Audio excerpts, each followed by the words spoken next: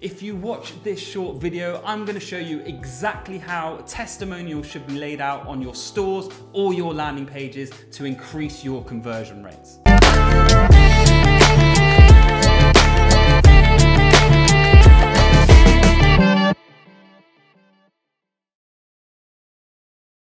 Hey guys, I'm Oliver Kenyon, co-founder here at ConversionWise, and I want to quickly remind you that if you're watching this on YouTube right now, please hit that subscribe button because it's going to keep you up to date with our latest videos, all about how you can skyrocket and smash those conversion rates out the window. Also, I want to remind you, if you are not inside our Facebook community, it's a free community, head on over to Facebook, search for Conversion Rate Community, smash that join button, and you're going to be joined into the group where you can get all the latest tips and tricks and everything that we drop all about again increasing your conversion rates online. So for the purpose of this tutorial I'm going to use a ClickFunnels page. I'm going to use their basic VSL sales lander um, just because it gives me the ability to edit stuff on page so you can see exactly what I'm doing, take notes and do it yourself. It doesn't matter what page you're using, what builder you're using, what theme you're using. We don't teach things specific to builders because what we teach is applicable across all of them and it will increase your conversion rates. And this is how you make the most out of your testimonial section. First and foremost, where should they go?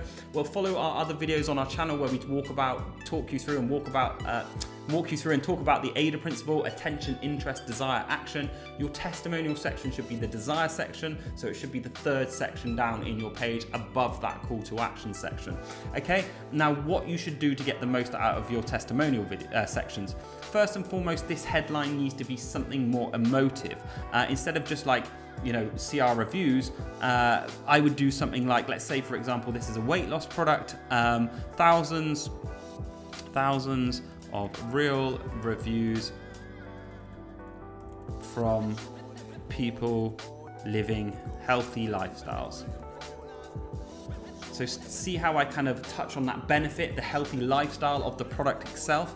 Don't waste this title, make sure you utilize it. And then there's some definite to-dos and definite don'ts when it comes to the actual testimonials themselves. First and foremost, I would always put my testimonials in quotation marks. ClickFunnels doesn't do this via default, but I would put them in quotation marks just so people know that they're actually quotes. Secondly, when it comes to the text itself, keep it between one and two paragraphs. This, this size is actually pretty much bang on, uh, but you want to do a couple of things. You want to bold some of the key words. So go through your testimonials and bold some of the key words. Typically speaking, people want to pull out the bold statements about a journey. So it's about before and after. So it's uh, if it's a if it's a weight loss product, it's I was struggling with my weight, bold struggling. Okay, then I found this product and instantly I now feel healthier and better. Bold, healthier, better. See how that took me from a journey from struggling to healthier and better. Those are the keywords that you want to bold. So go through your testimonials, add quotation marks, and bold some of the keywords. Secondly, then you want to uh, include a proper name of the consumer. So let's say this is Rosie Jenkins. We see too many people get this wrong. They'll just put Rosie or they'll put Mrs. Jenkins. It's unbelievable if you do two of them. So make sure you put uh, both names there. Next, we want to utilize this line here to add some social proof in form of a visual element. So not just text, we need to get a visual. So we need to get some gold stars in there, Trustpilot icons, it doesn't matter.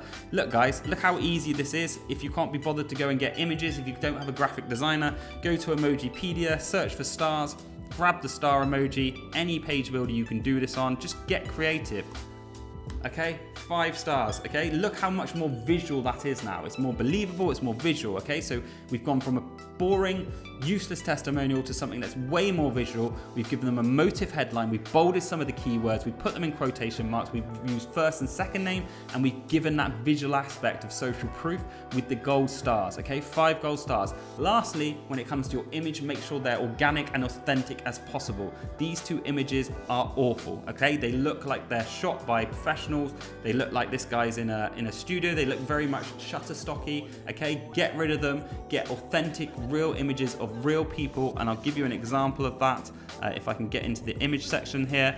This is like one of our testimonials from someone who's reviewed our course.